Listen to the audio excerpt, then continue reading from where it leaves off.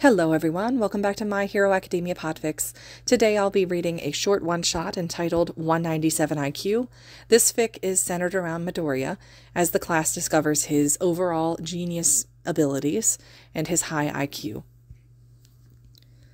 Few people know, but Shota Aizawa, or the pro hero Eraserhead, uses his tired face to listen to the conversations instead of actually sleeping in class. At the beginning of the year, during free period watched by Shota, the conversations were at low volume and not really informative. They were still stressed by his expulsion threats and were still very serious. However, as the year was nearly ending, it was the Christmas holiday approaching, and the talking was more and more interesting. He actually listens when Ashido complains about her exam with Kaminari against Nezu.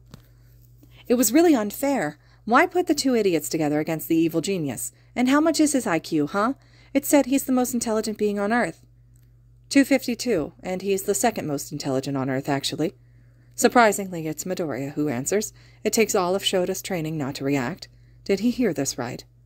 What? Ashido exclaims with a strong volume, stopping all other conversations in the class. What did you say? Kaminari asks, surprised. Nezu, his IQ is 252, and someone has 257 in the U.S., so he's second, Midoriya insists, unsure if he should repeat himself. Shota opens his eyes to stare at him dumbfounded. The kid is more focused on his friend so he doesn't see him. How the hell does he know this? Even him, after working under Nezu, doesn't know his IQ. He just knows that the rat is smart. That's all. He never asks, and the mammal is just too hard to read. Shoutings are coming from the students. It's too loud and not understandable. He cringes. Thankfully, Ida shouts louder than everyone to bring order to the class. Please, everyone, don't yell. Ask questions to our classmate in order. The sound calms. Shota thinks he has to intervene before it gets out of hand again. How the hell do you know that? he asks, sharper than he intended. The teen flinches, but talks. I saw him once in the hallway, talking to All Might, and I analyzed his social cues and his thought process. It was a hard thing to do because he's not human and all of his hiding of his muscle twitches. Shota sighs and pinches the bridge of his nose. That doesn't answer anything. Are you gifted too, Midoriya? Yaoyorozu asks mindfully. And, oh, that makes sense. If he's a genius too, he could have read the rat. But why was he not aware of that? If he's gifted, then he should be bored in class. Uh, oh, I don't, um, I'm only the ninth, actually, he says, unsure. The ninth, Deku-kun? Uraraka asks with big eyes. Midoriya looks at her, thinking. Probably if he should say whatever secret he holds. I have an IQ of 197, the problem child finally admits in a whisper like he's ashamed. And what the fuck? Why is he not aware of that? Why? And the reaction of the class is proof. They didn't know either. Even Bakugo explodes his desk with big angry eyes, and he's a childhood friend with Midoriya. So we have a mini Nezu in class and didn't know? Kirishima speaks up. What? No, no, no, I'm nothing like Nezu. He's really super smart with computers, and I'm not good at coding. Not every genius has the same specialty. For example, Nezu is a hacker and programmer. Hatsumi Mei is a mechanic specialist, while I'm really good at reading people, like when they lie or when they go to attack or when they bluff. I'm good at analyzing, too, their personalities and their quirks. Actually, if I didn't go to UA, I would have been an analyst or a psychologist, he mumbles. Again, that makes sense. Shota has realized Midoriya has low social cues. He mumbles a lot, spends a lot of time watching people. He's not comfortable with large groups, but if he's a behavior genius, then it explains why he didn't see it before. The kid is just too good at analyzing behavior and somehow ended up with reactions that people shrug off as oddities. He copies the reactions he saw so well to be in his mold. That's scary.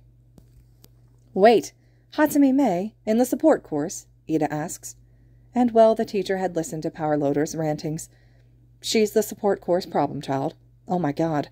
Are problem children geniuses? Is that the characteristic required to be labeled a problem child?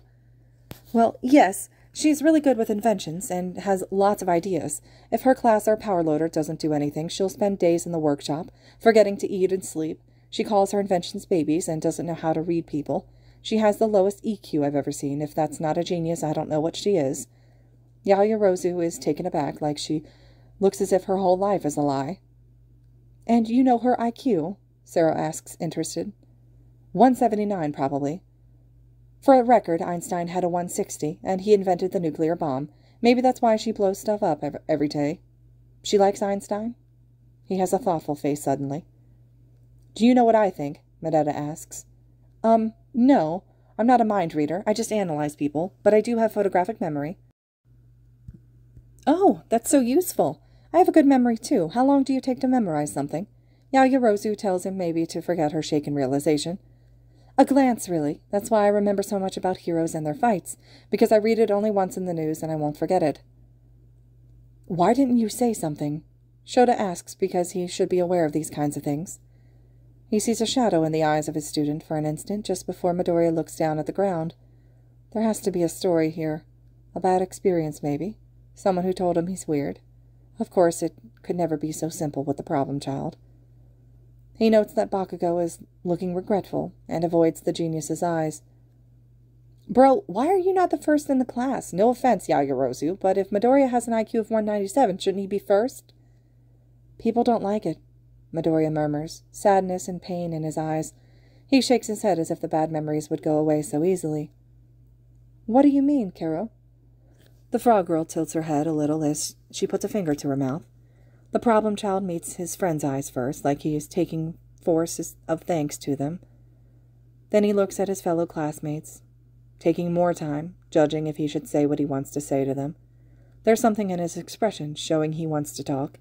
He wants it. He just wants to make sure that the people in the room are trustworthy. He notes Midoriya doesn't look in Bakugo's direction. Weird. And it's finally Shota's turn.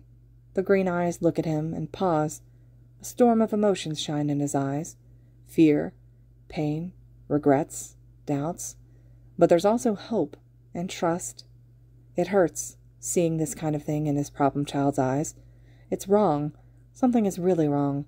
Someone hurt this child so bad that he fears trusting adults. It breaks his heart. Why didn't he see it before? He should have done something. Shota's test is longer than the others, but apparently he passes because Midoriya opens his mouth. I was quirkless. Nobody talks, they're all processing the three simple words.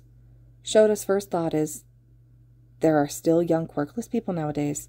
The second is, You know how you were bullied before because of your weak quirk. This kid had to have had a worse bullying. His third is, I failed him.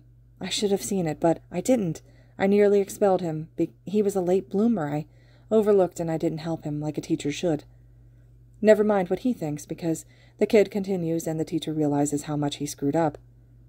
I was quirkless. I I was a late bloomer, and it wasn't important to people that I was smart. They wrote me off as useless, quirkless Deku, who can't do a thing, who wants attention, who is weak. Uraraka looks like she's about to cry when she realizes the nickname was so bad.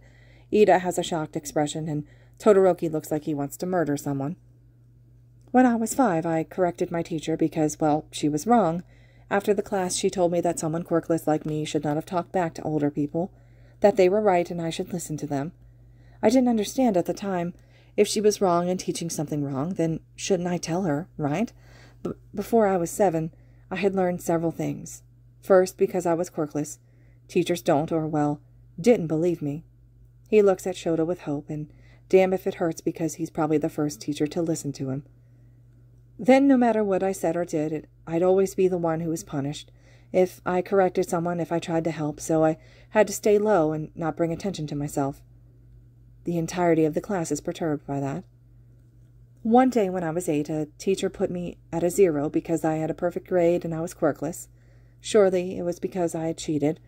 It was not the only time, so I learned to fake. I fake mistakes because if I don't, then I have a zero. I fake my reaction because if I don't, I point out the mistakes of others or even how I could improve them. I fake because even if I know it's a lie, I take it as the truth.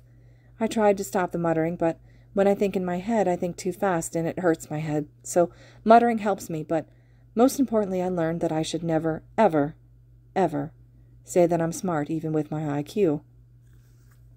There's a dark cloud that passes in his green eyes. Definitely a story here, but he can't press it. He hasn't earned the right to yet. Half of the class has tears in the corners of their eyes. So, I'm not the first in the class because I fake my own mistakes by habit. I didn't say anything because when I tried, Midoriya seems taken aback in his memory. His face is closed as ever. He never saw this kid with such a dark expression. It's so wrong. He shouldn't have this kind of face. So I don't say it, not to adult teachers anyway.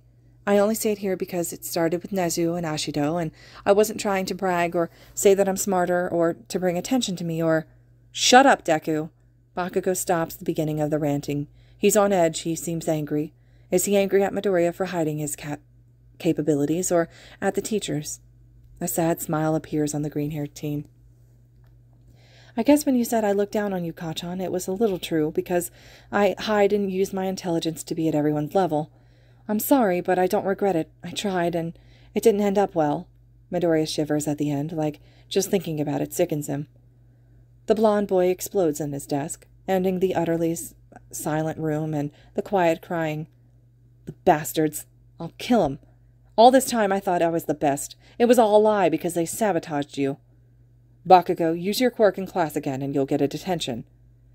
Thank you for your trust, Midoriya. I'll make sure I'm worthy of it. The green eyes light up. It was the right thing to say. Deku-kun, Uraraka hugs him. I promise you can be yourself and we won't do any of the things that they did or say the things they said to you. You're our friend and we love you. Todoroki, Ida, and Asui come and hug the now crying kid. Present Mic enters the class at this moment. He's surprised and gives Shota a look. The homeroom teacher sighs. He will deny anyone who says that he has a soft spot for this class, but right now he doesn't really want to break the mood. Still, ugh. Sorry to interrupt, but you have class now. We will continue this discussion after, Midoriya. Before going, he's making a subtle nod to Hizashi or present Mic, saying without words, I'll talk to you after. His problem child is surely something, and if he hides a proud smile on his capture weapon, well, nobody has to know. This concludes 197 IQ. I really like this one. I think there's not enough fics out there that really showcases Izuku's potential intelligence, so I hope you guys liked it as well. And as always, thank you all so much for listening.